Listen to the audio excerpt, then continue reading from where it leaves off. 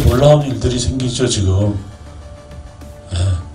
그렇게 분열되고 그렇게 나눠지고 예, 수많은 자기 의견으로 나눴던 이 보수파들이 모아졌어요 지금. 연합이 됐습니다.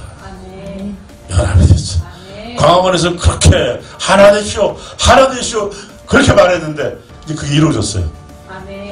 연합이 됐습니다. 특별히 이번에 좋은 당이 또 이렇게 결성이 됐죠. 기독 자유통일당.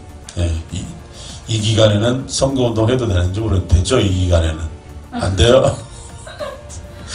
예. 그거 지역구는 2번 찍으세요, 여러분. 2번. 황교안 장로 당입니다. 그거 지역구는 2번 찍으세요, 여러분. 2번. 네, 2번 찍으시고 그리고 비례대표 있잖아요. 그 당이 서른 몇 개래요. 여러분 헷갈리죠, 그죠? 저도 헷갈려요. 지난번에 뭐 이렇게 당이 많어? 난 당이 서너 개인 줄 알았더니 서른 몇 개랍니다. 어제 어젯밤에 알아서 한 60개쯤 되는 줄 알았더니 서른 몇 개랍니다. 그래서 paper가 60cm 이렇게 눈 나쁘신 분들 꼭 돋보기 갖고 가세요. 예, 가서 2번 네, 2번 찍으시고 그리고 쭉 비례대표에서 쭉 내려가셔서는 예, 자유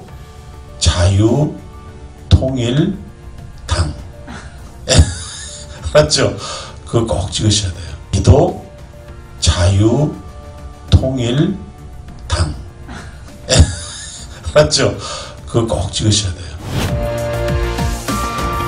그래서 어, 기독교인들의 그 대변을 국회에서 할수 있도록 이번에는 몇 사람 들어갈 것 같아요? 네.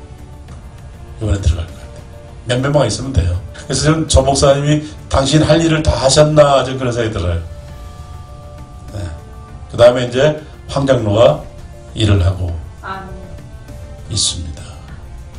수많은 어려움이 많은데 그 어려움을 하나하나씩 다 지금 헤쳐나가고 어, 있습니다.